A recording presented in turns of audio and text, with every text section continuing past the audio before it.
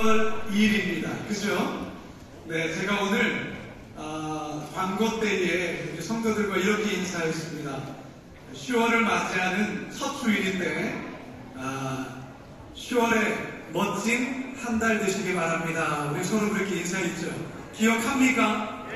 자, 우리 사업분들과 이렇게 다시 한번 인사하겠습니다. 10월에 멋진 한 달 되시기 바랍니다. 인사하시기 바랍니다. 10월에 멋진 한 달 되시기 바랍니다. 멋진 10월이 되시기 바랍니다. 그래서 이 시간 우리 오색의 찬양제 물론 어, 찬송가는 안 했지만 10월의 어느 멋진 날에라는 노래를 마지막 피날레 송으로 같이 했으면 어떨까 생각이 들었습니다. 10월의 어느 멋진 날에